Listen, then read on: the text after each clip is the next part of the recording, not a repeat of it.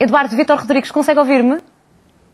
Isto parece não estar fácil, não conseguimos ainda estabelecer eh, o contacto telefónico com o nosso, eh, e em direto com o nosso convidado que está na SIC Porto. Vamos eh, tentar um pouco mais à frente e agora sim tentar ouvir a opinião dos nossos telespectadores, conversar com alguém que nos vê de Lisboa. Alfredo Barreiros é logista. Boa tarde. Minha senhora, muito boa tarde. Não sei se me está a ouvir bem. Sim, sim, eu ouço muito bem. Melhor, em primeiro lugar, quero enviar saudações à senhora. Eu sou um espectador assíduo do vosso excelente programa e era para dizer que a senhora é boa como ao milho, se eu posso bater uma punheta enquanto a senhora fala ao telefone, não sei se é possível, bater uma punheta e a senhora falar ao telefone. Bom, parece que uh, este é, é, um programa em direto, onde as opiniões dos telespectadores uh, são válidos, não é o caso deste telespectador. Uh, vamos seguir em frente, ouvir opiniões um pouco mais construtivas. Manuel Dias está a ver-nos da Cova da Piedade, é construtor civil. Boa tarde.